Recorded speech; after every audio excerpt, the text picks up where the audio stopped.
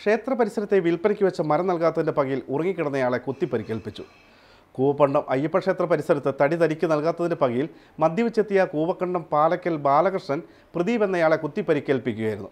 പ്രതിയെ police arrest ചെയ്തു. പ്രദീപ് അപകടനില തരണം ചെയ്തിട്ടുണ്ട്. കൂവക്കണ്ടം അയ്യപ്പക്ഷേത്രത്തിന് സമീപം നിന്ന് തടി വിൽപ്പനയ്ക്ക് വെച്ചിരുന്നത് തനിക്ക് ലഭിക്കാത്തതിന്റെ പകയിൽ ബാലകൃഷ്ണൻ പ്രദീപിനെ കുത്തി പരിക്കേൽപ്പിക്കുകയായിരുന്നു. മദ്യപിച്ചെത്തിയ ബാലകൃഷ്ണൻ ഉറക്കത്തിലായിരുന്ന പ്രദീപിന്റെ കഴുത്തിനാണ് കുത്തിയത്. പ്രദീപ് ആശുപത്രിയിൽ ഓപ്പറേഷന് ശേഷം അപകടനില തരണം ചെയ്തതായാണ് വിവരം. പ്രതിയെ കൂവക്കണ്ടം വനം മേഖലയിൽ നിന്ന് ഇൻസ്പെക്ടർ സോൾജിമോനും സംഘവും ചേർന്ന് പിടികൂടി. പിടികൂടുമ്പോഴും ഇയാൾ മദ്യലഹരിയിലായിരുന്നു. തനിക്ക് നൽകാതെ തടി മറ്റൊരാൾക്ക് വിറ്റതാണ് ഇയാളെ പ്രകോപിപ്പിച്ചത്.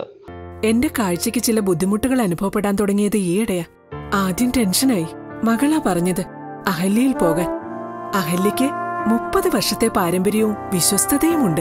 അഹല്യയിലെ വിദഗ്ധരായ ഡോക്ടർമാരുടെ ചികിത്സ കൊണ്ട് എനിക്ക് എന്റെ കാഴ്ചശക്തി പൂർണമായും തിരിച്ചു കിട്ടി. ഇപ്പൊ എനിക്ക് ഈസിയായി വായിക്കാം. നേത്ര സംരക്ഷണത്തിന് നമ്മുടെ Ahalya.